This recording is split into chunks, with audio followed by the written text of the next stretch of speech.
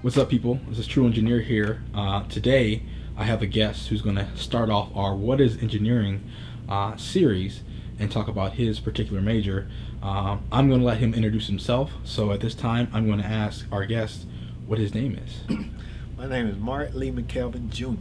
All right, Mark Lee McKelvin Jr.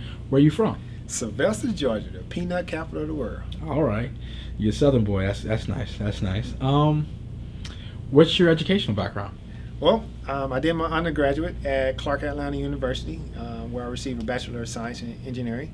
Um, then I went to University of California, Berkeley, where I received a Master of Science in Electrical Engineering. And now I'm about complete with my PhD in Electrical Engineering at University of California, Berkeley. All right, Cal Bear. Um, and he's gotten into working on his PhD. Good stuff. Um, I see you have something in your hand. Um, I wonder is that at all related to what it is you study? What exactly do you study? So I study electrical engineering, Mm-hmm. um, and what I have in my hand is a breadboard which has an electrical circuit on it. So Okay. on this circuit, you will see a number of different components, right? And these are all components which, as an electrical engineer, is uh, what you will learn in your first electrical engineering course. You learn how to put these components together in order to do something really cool. Like one example might be to be able to sense the lights in the room Mhm. and to be able to make a sound, uh, depending on what the light level is. right? Okay. So that's what electrical engineering is all about. Okay. So why did you choose to go into electrical engineering? So I chose to go into electrical engineering because, um, you know, I was, you know, I was told I was good in math and science. I was always interested in science, and um, I always wanted to be at the forefront.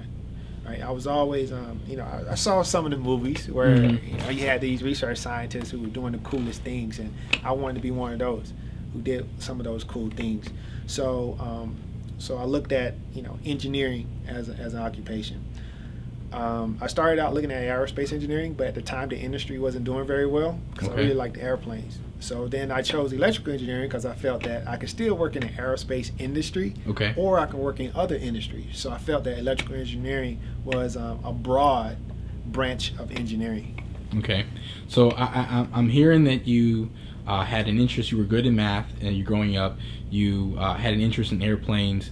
Um, you you kind of saw the aerospace field wasn't going in the way you wanted to, and you looked for this broad field in electrical engineering. But um, you know, last time I checked, electrical engineers get paid. Um, did finance at all impact your decision to go into be an electrical engineer? Yeah, it did, um, but it wasn't the priority. Okay. Right? So, you know, one thing I would definitely say is that go by your passion. You know, if you do something that you love to do, Mm-hmm. and it could be sports as well, Mm-hmm.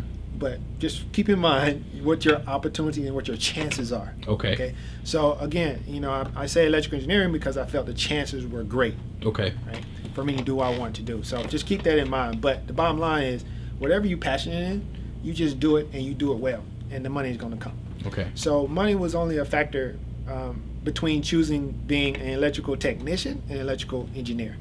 Um, and again, it came in, you know, like second or third because ultimately it was just that interest in being in the forefront of, of science and technology, Mhm. and it was that interest in being able to design electrical-based systems, right? So a technician doesn't really design an electrical-based system.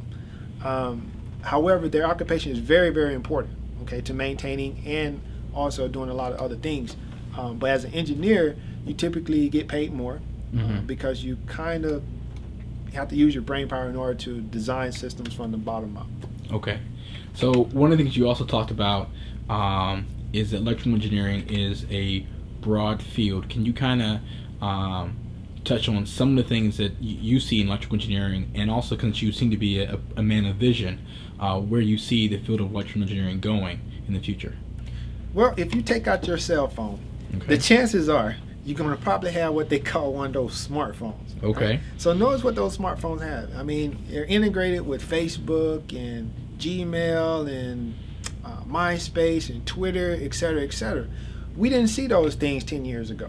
10 Mhm. years ago, you were still using the, you know, a pager and you was going to the payphone in order to use the phone. Right. Right. Right. But now we have, um, you know, one of those trends is that everything is being networked, and it's kind of in your personal space, right? So you're networking everything to your smartphone devices. You're able to control with your cell phone how to um, open your car door or how to start your car using your cell phone. So you're networking. Okay. So you you know you're interfacing all these technologies together. You're networking them, um, and you also find that uh, a lot of your traditional mechanical based systems, as an example, a car, Okay. is moving more towards using electronics.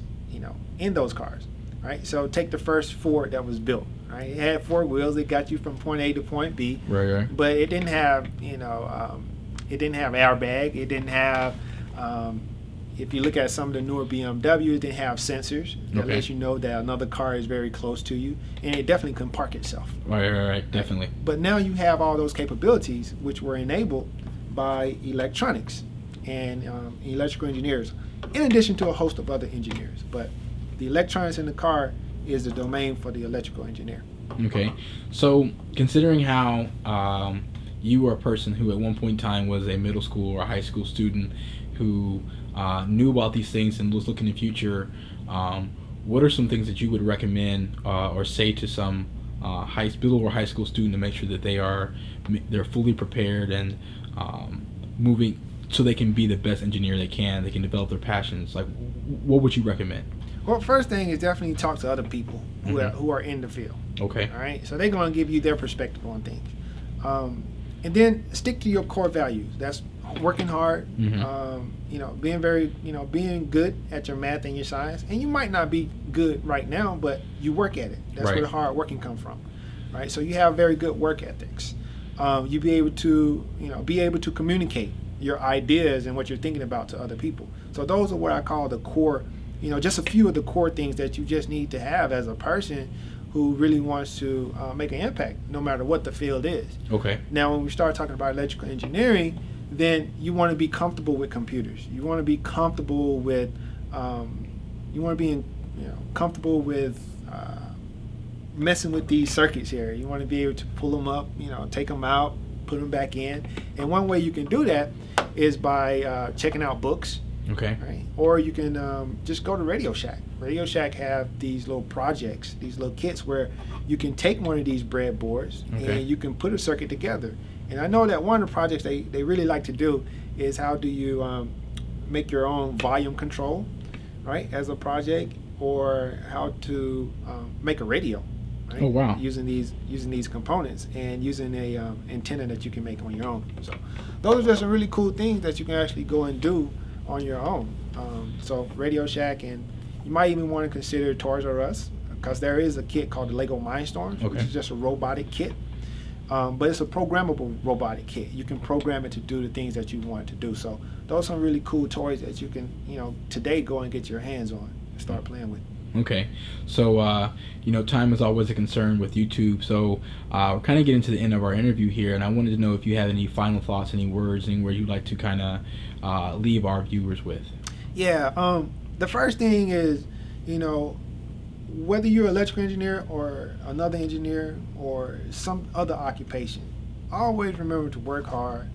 Uh, make sure it's something that you're passionate about, and the money is going to come. right? Um, and if it is, you know, electrical engineering, then great. Right. But um, you know, I'm not going to tell you to do electrical engineering because it all depends on what you're passionate about. So definitely stick to what you're passionate about.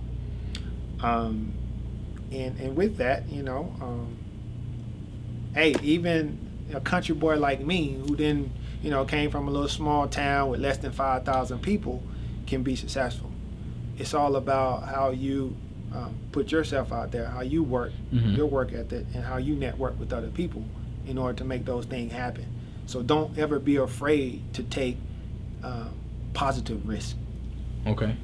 All right, Mark. Thank you for your time. Um, this is True Engineer, uh, and I'll see you all next time. What is engineering? Uh, with Mark McKelvin. Today we talked about electrical engineering. That's our time. Peace.